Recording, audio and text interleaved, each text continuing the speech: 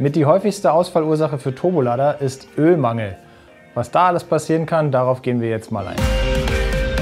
Wie ihr aus vielen anderen Videos von uns wisst, ist beim Turbolader Öl eins der essentiellen Punkte. Dort werden praktisch oder dort laufen die ganzen Wellen, die da drinnen liegen oder eigentlich die Welle und das Lager drumherum, also alles was rund ist und sich dreht, läuft in einem Ölfilm oder wird durch einen Ölfilm geschmiert und sozusagen kann man sagen, also man spricht von hydrodynamischen Lagern, das heißt ähm, die Bauteile schwimmen in dem Öl. Das Öl ist der essentielle Part, damit sich alles schön sauber drehen kann. Habe ich nun Ölmangel, ähm, ist logischerweise dieser essentielle Part weg und der Turbolader kann nicht mehr so schön geschmeidig drehen. Es ist einfach gesagt so, dass dann Metall auf Metall schleift und jeder kann sich vorstellen, Metall auf Metall ist grundsätzlich nicht gut, ohne die entsprechende Schmierung und führt zu Schäden.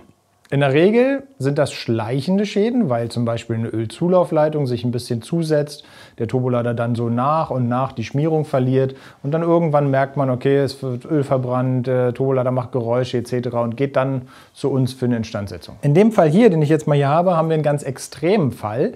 Hier scheint es so, als wenn das Öl komplett weg war. Das heißt, ähm, ich würde mal sagen, die Ölpumpe hat versagt oder es war wirklich ein kompletter Verschluss der Ölzulaufleitung vorhanden. Das kann man jetzt nicht so ganz genau sagen, nur vom Schadensbild her sieht man, das Öl war komplett nicht mehr da. Was ist passiert? Logischerweise, wie ich es gerade beschrieben habe, die Welle, das ist jetzt hier unsere Abgaswelle mit dem Verdichterrad dran, so sieht das Ganze aus, ähm, läuft in dem Lager und wie man hier wunderschön erkennen kann an den Riefen, die hier drin sind, hat sich das Lager praktisch hier reingefressen. Die ganze Goldverfärbung, also diese Messingverfärbung, kommt durch das Lager. Das heißt, es wurde Material vom Lager auf der Welle aufgetragen. Man kann sich vorstellen, dass das wirklich extreme ja, Bedingungen sind, extreme Hitze dabei entsteht. Wir reden ja hier von Drehzahlen von mindestens über 100.000 Umdrehungen pro Minute und da schleift sich dann das Material so richtig schön aufeinander ein. Zudem ist es dazu gekommen, dass das Lager, das Radiallager hier in dem Moment ähm, so stark geschliffen hat, ich würde mal sagen, es war ungefähr so rum auf der Welle drauf, äh, dass es sogar blockiert ist und auseinandergebrochen ist. Das heißt, es ist abgerissen. Ähm, so wäre es eigentlich im Insgesamten. Und es hat sich hier komplett getrennt, weil die Kräfte und die Temperaturen einfach viel zu stark waren. Dadurch, dass sich das Lager nun abgeschliffen hat, ist es so, dass die Welle, die ja normalerweise perfekt glatt in diesem Lager drin liegt, jetzt anfängt zu wackeln. Und da wir auf Frischluft- und auf Abgasseite äh, entsprechend kleine Spaltmaße haben, ähm, haben hier die Räder die Gehäuse berührt. Man sieht das wunderschön hier am Verdichtergehäuse, wie das lang geschliffen hat. Man sieht es, Entschuldigung, am Verdichterrad. Man sieht es hier im Gehäuse, sieht man wunderbar diese Schleifspuren. Und man sieht halt hier am Verdichterrad, wie sich die Flügel schon ja, weggeschmörgelt haben. Also ganz klassisch, wenn man, äh, ich sage jetzt mal, mit einer Pfeile nur in eine Richtung schleift dann, oder feilt, dann kommt das gleiche zustande, wie man es hier sieht. Ist halt komplett beschädigt, kann nicht mehr weiterverwendet werden. Das Verdichtergehäuse äh, würden wir so auch nicht weiterverwenden. Könnte man vielleicht polieren oder irgendwas, aber ja, würden wir jetzt hier in dem Fall auch nicht mehr machen. Und die Abgaswelle, genau das gleiche, hat hier auch wunderbar durch zu wenig Spalt geschliffen. Man sieht es hier an der glänzenden Verfärbung.